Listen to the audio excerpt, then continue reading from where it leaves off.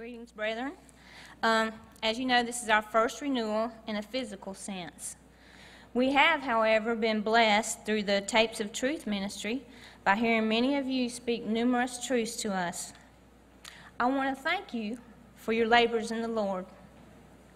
I have learned many things about the real Jesus from many of you in here, even though I haven't met you until today, some of you.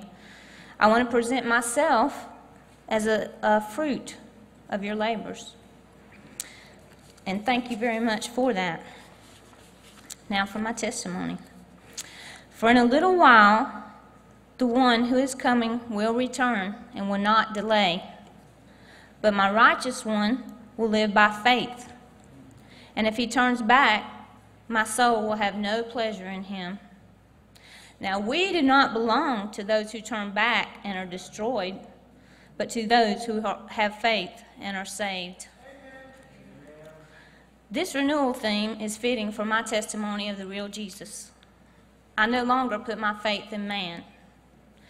This is why I use several Bible translations and I rely on the Holy Spirit to guide my understanding.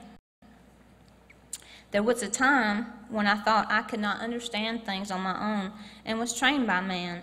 And I'm not talking about men who uh, teach us the real truths about Jesus. I'm talking about false teachings. I feel like Paul must have felt. He thought he was right about his religion. He knew all the scriptures, but he didn't see that Jesus was who they were talking about.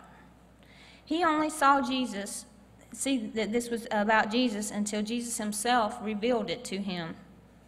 This is brought out in Galatians 1 11 and 12. But I certify you, brethren, that the gospel which was preached of me is not after man. For I neither received it of man, neither was I taught it, but by the revelation of Jesus Christ. And Romans 15:21 says, "But as it is written, to whom he was not spoken of, they shall see, and they that have not heard shall understand." The reason I bring up this scripture is to tell you a little bit about my life concerning Jesus Christ and how he has revealed himself to me.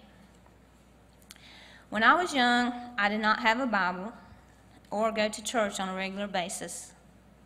I remember as a very, very small child that I did attend at a Mennonite church in Florida. I must have went several times because I won a Bible story book. I never read in the book, or was it read to me? Satan uh, quickly snatched that away. I attended uh, vacation Bible school one summer in Georgia with my great aunt. And the longest stretch of time that I attended church was at a Hardshell Baptist church in North Carolina where I decided to be saved. This consisted of coming forward at the altar call, which I did at the age of 10 in all sincerity. I remember my mother looking at me with a look of fright. Maybe she was embarrassed, I don't know.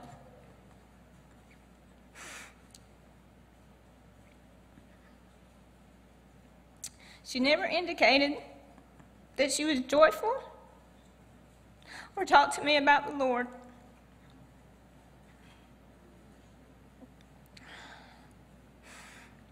I don't remember any of the things that I was taught in any of these places, but I do remember having a love for Jesus and for God. I always remember praying, even though I was not taught to do this at home. As a matter of fact, I've never seen any of my earthly family pray except for my children. I had what most people would consider a bad childhood and clearly recall a dream that has comforted me throughout my life. It was at the age of 10 during some very trying times. I dreamed that Jesus stretched out his hand to me, and he was in the clouds, and he was holding a lamb. And he reached out to me and he said to me, Everything is going to be okay. I only realized while preparing for this testimony that the at the time I didn't even realize the significance of the Lamb or that he was in the heavens calling me upward. I did realize that Jesus cared for me and that he was very real. I woke up and I wanted to be back in that place of peace. My faith was strengthened. Well, we soon moved back to Georgia, and I didn't attend church anymore, except for a few times at a local congregation. excuse me. It was at a country Baptist church when different ones from the neighborhood would pick me up. I don't remember learning anything from these sporadic visits except if you sin, you're dying and going to hell. And I remember thinking there must be something more to it than this, but I still didn't think about reading the Bible. And besides that, I didn't own a Bible. I thought that only preachers could understand. My grandmother used to sit and read the Bible, and all I remember her talking about was Revelation and trying to understand it. Still, I prayed to God and believed. I moved out on my own when I was 16 and got married when I was 17. At the age of 20, one of Jehovah's Witnesses knocked at my door. Thank you. They shared some scripture with me and a book that told of God's purpose for mankind and the earth. I was thankful to hear about these things, and they had scripture to back it up. Soon a Bible study was started using the book that they had shown me in the Bible. They showed me many things in the Bible and lived a morally good life separate from God, from the world. I decided surely this is God's people. Even though I had a limited church attendance, I had lots of exposure to people who proclaimed to be Christians, and the Jehovah's Witnesses acted more like what I thought a Christian should act like and that any I had been in contact with.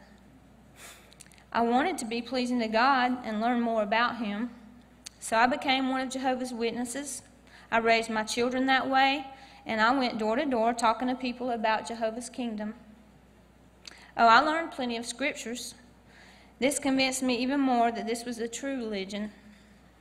I could not find anyone that knew the scriptures as well as Jehovah's Witnesses, preachers included.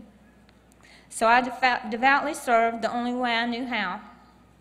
I felt sorry for people that didn't want to hear what I had to say because I felt like they were rejecting God. I would pray for them like Jesus did from the cross. I thought that they were just rejecting God and, and that they just really didn't understand. People would say, You Jehovah's Witnesses don't believe in Jesus. And I would say, Oh, yes, we do. And I would proceed to talk about him. Well, it's not God's intention for anyone to be mistaken about Christ that wants to know about him. And one day, even the ones who don't want to know will know. It is His purpose to save everyone that truly believes Jesus is who He claims to be and who has faith in the Lord. With this in mind, God is continuing to save me. I'm not saved until the end, but I have full assurance that as long as I fight the fight of faith, I will be. Well, my story continues. I was married 17 years to an unbeliever. During the course of this time, he made the choice to defile the marriage bed, and we were divorced. About a year after that, I met Brother Tony. We were both scripturally divorced, and he had asked me for a date. I didn't want to date anyone, but I thought he was nice enough guy, so I would go out with him once. I put some Jehovah's Witness literature on, on the end table at my home as a test when he came to pick me up. When he came into the living, when I came into the living room, he was reading it. I thought, hmm, maybe this is a man that is interested in God. Well, we had many conversations during the next 11 months concerning God and His Son and our each individual beliefs, although we were both living in the world. This was finally a person that had scriptural knowledge that I could actually have a conversation with. The one problem, though, was we differed in our belief on Jesus. I thought I was surely right and so I knew the Lord will guide your thinking if you are sincerely seeking Him. So, I, and I believe Tony was. So I figured he would come around. After we were married, some events took place that made us both decide we needed to find a church to attend. Neither of us were attending anywhere at the time. Well, I wasn't interested in attending anywhere except where the Jehovah's Witnesses went. We tried that, but Tony kept telling me about the different things that were wrong. We visited others, and we both saw things that weren't right in them either. We became frustrated, and all the while, Tony was continually talking to me about the deity of Christ. I had been taught that Jesus was the Son of God, but not God. The example was explained like you have a son, and he looks and acts like you, but he's not you. I didn't understand that Jesus was the visible expression of God, that God's Word became life, that God Himself came to earth and men didn't recognize Him. I was also taught that Jesus was an angel, the archangel Michael, and that he was created. The scripture in John 1 that says, In the beginning was the Word, and the Word was with God, and the Word was God, is translated in the Jehovah's Witness Bible to say the Word is, was a God with a small letter. Uh, and then there's other footnotes and all to back up how they came up with that. But Brother Tony would get extremely upset and he would say, Jesus is not a little g. About this time, we got a computer. And Tony found a site about Jehovah's Witnesses that, through scriptures, served to change my view on their teachings. I was brokenhearted. Could it be possible that maybe some of the things I had believed could have been wrong? Had I been blind and believed a delusion, as mentioned in 2 Thessalonians 2.11? And for this cause God shall send them a strong delusion, that they should believe a lie. I decided I would not listen to anyone, what anyone had to say, but that I would read the Bible for myself and see what it had to say. I knew the scripture in Hebrews 11:6 that says, "Without faith it is impossible to please God well." and that He is the rewarder of the one that diligently seeks Him. I definitely had the faith that the Lord would reveal the truth to me. And Brother Tony also reminded me of the scripture in 1 John 2:27 that says, "We need no man to teach us, but the Spirit will teach us, and what he teaches is true and not a lie." And let's not forget John 15:26, "But when the Comforter is come, whom I will send unto you from the Father, even the Spirit of truth, which proceedeth from the Father, he shall testify of me. So I started reading for myself. I decided to read without any preconceived ideas and prayed for answers to my question about Jesus. I started with the Greek scriptures since I was searching for an answer on who Jesus really is, even though I have since had the privilege of my eyes being open to see Jesus everywhere in the Bible. This was the first time that I had actually read the Bible from beginning to end. I prayed fervently that the Lord would reveal to me the truth about Jesus. In Matthew, I remember the scripture in Matthew 7 7 that says, Ask and it shall be given you, seek and you shall find, knock and it shall be opened unto you. And I figured this was something that I could pray for and would be given to me. Let me tell you, brethren, he hasn't stopped revealing himself yet. I would constantly stop Brother Tony and tell him the things that the Spirit was teaching me. I went to the Lord in prayer, begging Him to forgive me for my wrong thinking and wrong teaching to others. I felt as if I had been violated. I, I had spent the better part of 20 years thinking I had the right Jesus, and all along I had been preached another Jesus. I also did not understand about the Lord's table. The places that I had visited in my early childhood did not partake of the Lord's table that I knew of. Uh, Jehovah's Witnesses do. The only day that they celebrate, they don't celebrate any holidays, is the memorial of Jesus' death. But in this, there's only certain ones allowed to partake, and they're the spirit anointed ones, and we don't need to go into all that. But anyway, I felt like I was not worthy of this because these were people that would be able to be kings and priests, and I said, Surely I'm not worthy so I did not partake. Brother Tony talked to me about it, and I still could not do it. Uh, uh, I had thought of the scripture in 1 uh, Corinthians 11 28 and 29 that talks about letting a man examine himself and not to, so that he, for he that eateth and drinketh unworthily is not discerning the Lord's body, so I felt like I would be unworthy. Well, I continued to pray about this matter to the Lord knowing that he would reveal an answer to me. Then I read the scripture in John 6 53 through 58, and my eyes were opened. It says, Then Jesus said unto them, Verily, verily, I say unto you, except you eat the flesh of the Son of Man and drink his blood, you have no life in you. Whosoever eateth my flesh and drinketh my blood hath eternal life. So, right there, if I didn't do it, I was not going to have eternal life, and I had no life in me then. And also, uh, John 6 56 says that he dwelleth in me and I in him. So, Jesus couldn't dwell in me if I didn't partake. And Jesus is also talking about in this not just remembering his death, but partaking in him. He was talking about nourishing our spiritual body with Him, learning of Him and the Father. Well, from that moment on, I have partaken of the Lord's Supper. We both decided that something had to be done. We needed fellowship with serious disciples of Christ, the real Christ. We started attending different churches, but we couldn't find anybody that was really serious about the Lord. The things they were interested in was business of the church, uh, what the different denominations believed. Nobody even wanted to talk about God. You went outside and they talked about everything but God. So, Brother Tony got on the internet searching for a prison ministry. We thought we would start our own ministry. While I was reading the Bible, learning new things, Tony was searching for us a ministry. We came across the Word of Truth internet ministry through a link on a prison ministry. He read some of Brother Given's articles and told me to take a look. He said Brother Given was talking about edification. This was new thinking.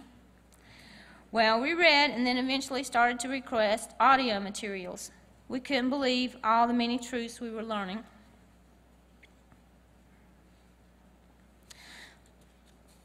And many of these things had not been heard by either of us during our experience with the church. Most important was the focus of Jesus by this ministry, the real Jesus. After three years, we have decided, or shall I say, the Lord decided we should move to Joplin and attend the services in person. We have prayed for fellowship, and the Lord has been faithful to answer our prayer. We feel like the man who found the treasure in the field and went and sold everything so that he could buy the field. We also felt like the merchant that found the pearl of great price.